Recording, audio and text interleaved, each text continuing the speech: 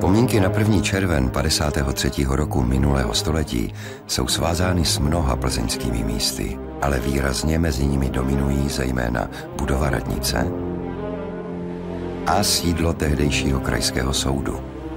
Symbolem osudových okamžiků plzeňské vzpoury je i Dukelské náměstí s pomníkem národního osvobození.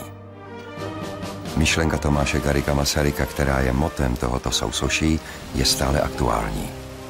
Zvítězili ti, kteří hájili ideály spravedlnosti. Toto je fotografie znázorňující demonstrace 1. června 1953 a zachovala se především z toho důvodu, že její kvalita byla velmi špatná a STB o ní nemělo zájem.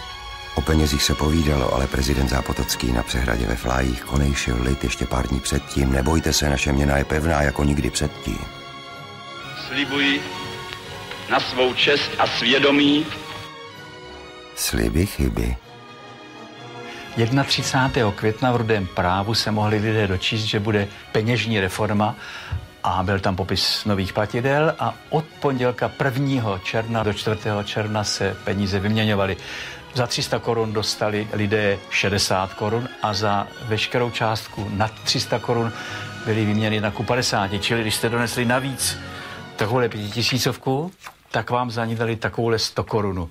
Ten rozdíl je markantní nejen v kvalitě, řekněme, výtvarné, ale taky v kvalitě technické, jak odborníci vědí. Mač tohle je takzvaný tisk z plochy neboli offset a tohle je hlubotisk, takže to už jenom v té kvalitě jsme byli byti.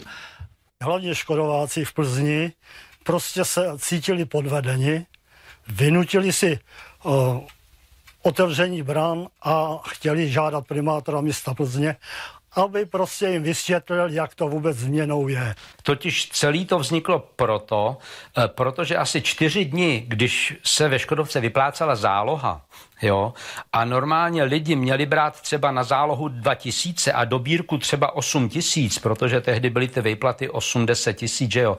Tak oni na zálohu místo 2 tisíc dostali třeba 6 tisíc. Jo?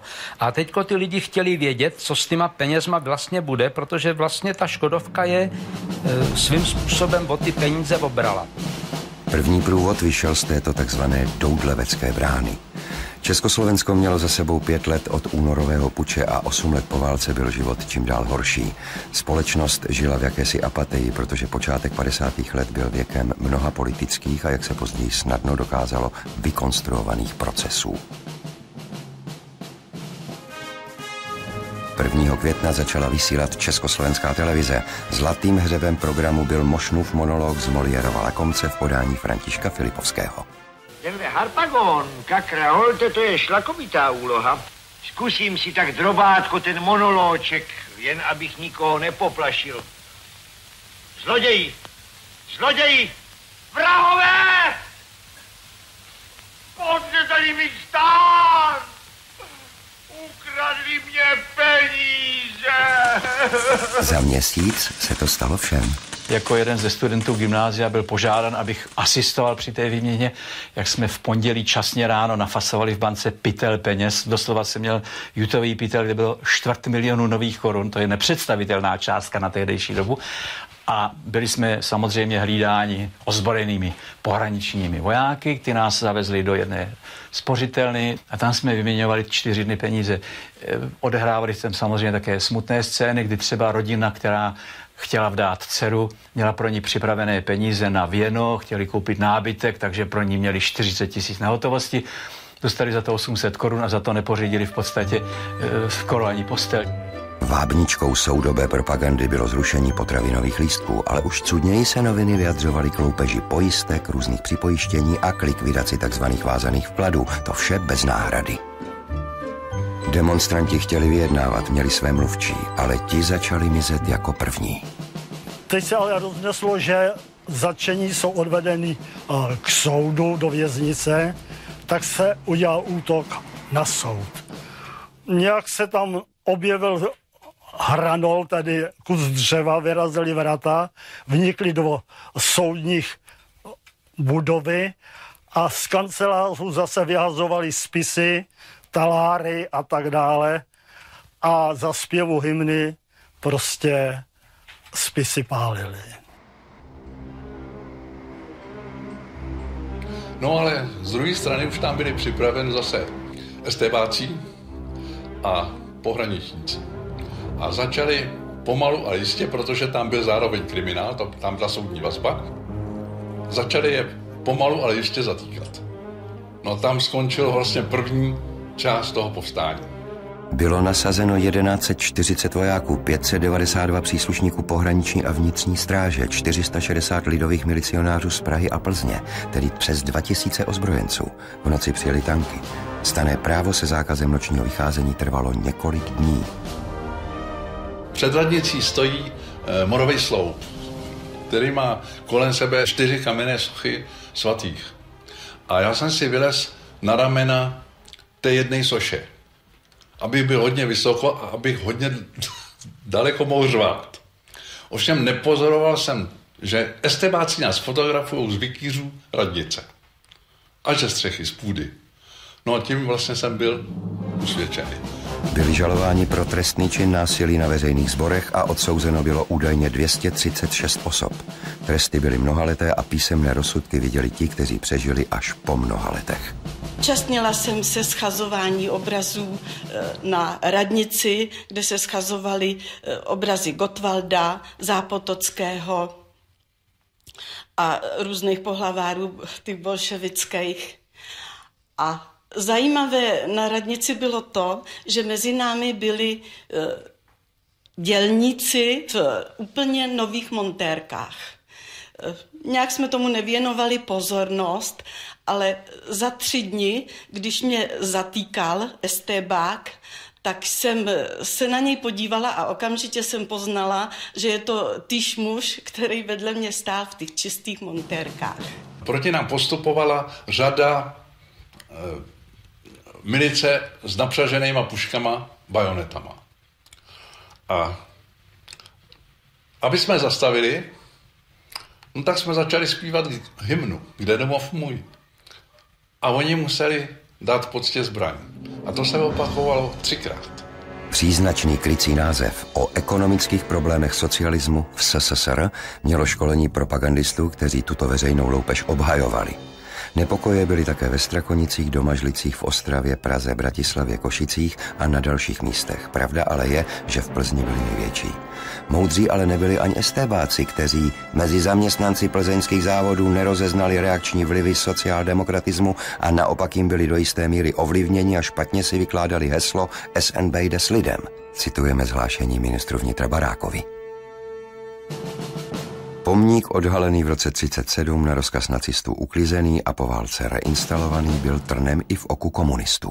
Na Dukelském náměstí se schromáždili plzeňané před pomníkem národního osvobození. Toto sousoší bylo jádrem pro další demonstrace. V Masarykovou pomníku prostě šli eh, herci z divadla, eh, který udělali takovou nějakou jako trud z demonstraci nebo proti demonstraci, jo, a odstraňovali Masarykův pomník, že jo. Přehnali z technické služeb autojeřáb, který ten eh, pomník utrhnul a odváželi ho do Škodovky prostě na rozstavení. rady a zráci všemi, nech starý podlý svět. Plzeňské bouře byly první vzpourou proti komunistickému zlu. Oficiální tisk ji po svém připomněl pouze v místních novinách, v ostatních byla černá na bílém jen lež. Přišli jsme druhý den ráno do práce, no a oni převlík jsem se do modraček a najednou tam vtrhla milice a už to šlo. Už to lítalo. Rána, bum, facka, kopanec. Prostě fackovali mi tak nepříčetně, že takhle lítala za mnou krev na tu zeď jak zacházeli s námi v krimináli, v tom, té vyšetřovací vazbě, to jako si žádný nedové představit. To je, když vám dají brejle, kožen brejle na oči a nevíte, kam vás vedou a dostanete jakou ránu, z které strany, všechno, to je, je záhoda, to vůbec nevíte, jestli to dělal, kdo to dělal, kdo se k tomu propůjčil z těch bachadů nebo z těch vyšetřovatelů nebo z těch estebáků. Prostě jsme byli nepoznání, to, když vám řeknu, že jsme jeden druhého nepoznali, když nás potom přivedli. Já nevím, jestli nás rovnou odvezli na Bory, anebo na, na krajzách, na, do bývalého gestapa. Státní bezpečnost, která měla v Plzni také kachlíkárnu, rozjela ponižující vyšetřování i ve Škodovce. 50. léta byla dobou strachu, ale i drobných udavačů a rezolucí. O každém zaměstnanci muselo být podáno vysvětlení, kde se v inkriminovanou dobu pohyboval.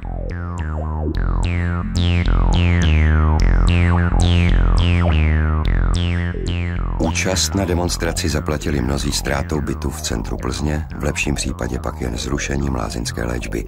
Jejich místa nahradili nomenklaturní komunisté, většinou estébáci a vojáci. Pět měsíců po osudovém okamžiku plzeňské vzpoury na ní měli lidé zapomenout. Strhli jsme vám Masaryka? Tady máte mnohem většího, Stálina. Čest a sláva našemu osvoboditeli, velikému, nezapomenutelnému Stálinovi. Nestal tady sice dlouho, ale v jeho duchu pak u nás chtěli pokračovat další. Rehabilitační zákon z roku 1990 na postižené účastníky plzeňských demonstrací jaksi zapomněl, ale všichni věří, že to zákon o třetím protikomunistickém odboji napraví. Scházejí se zde takto pokaždé ve výroční den a škoda, že si sem jejich vyprávění nepřijdou vyslechnout také ti mladší, ale třeba se na nás dnes dívají.